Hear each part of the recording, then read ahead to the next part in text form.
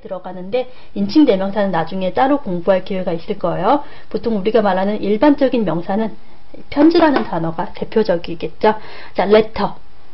편지 여러분 요거 어, 제가 높아시면 말씀드리면 TT 발음 원어민들 특히 북미 쪽 캐나다나 미국 쪽 원어민들은 letter 이런 식으로 발음을 할 건데 만약 그 발음이 여러분들이 잘 되지 않으시고 또 그 발음을 했는데 원어민이 못 알아듣는 것 같다. 이런 경우에는요, 어, 굳이 이 TT 발음을 북미 쪽 원어민들처럼 막 레를 이런 식으로 발음하려고 하지 마시고, 저도 발음이 그렇게 안 좋거든요.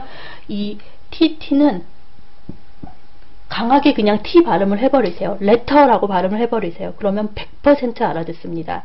막 따라하려고 흉내내면서 레를 이러면 못 알아들을 경우가 많지만 여러분들이 정말 뭐 영국식, 호주식 발음으로 T 발음 딱 해버리면 전달 잘 되니까 언제나 의사소통이 중요한 거기 때문에 어, 발음적인 부분에서 너무 북미 쪽 원어민들 따라하려고 하실 필요 없습니다. 아, 무슨 얘기 하다가 갑자기. 자, 여러분, 명사, 여기서 나, 인칭 대명사, 그리고 레터, 일반 명사 봤어요. 그럼 형용사는 뭐가 있을까요? 이 문장에서 형용사 하나밖에 없는데. 형용사는 명사를 꾸며주는 단어라 그랬죠? 자, letter라는 명사 앞에 긴이라는 단어가 왔어요. long.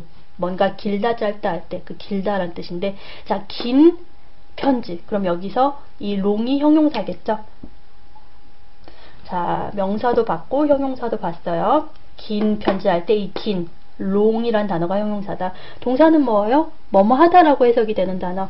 나는 쓴다, 긴 편지를 자 쓴다. 동사도 찾았네요. 자, 그리고 뭐 남았어요? happily 남았죠? 편지를 쓰긴 쓰는데 어떻게 써요? 슬퍼하면서 쓰는 게 아니라 행복하게 써요. 이렇게 뭐뭐 하게라고 해석이 주로 되는 단어. 이런 단어를 우리가 이제 부수적으로 꾸며주는 어떤 말을 꾸며주는 단어라고 해서 부사라고 합니다. 여러분 그 부사는 이렇게 동사만 꾸며주는 게 아니라 자 쓴다 어떻게 행복하게 쓴다 동사만 꾸며주는 게 아니라 부사는 형용사도 꾸며주고요 자기처럼 또 다른 부사도 꾸며주고 그래요. 그래서 부사는 어, 동사 형용사 그리고 어, 자기 외에 또 다른 부사를 꾸며주는 단어입니다.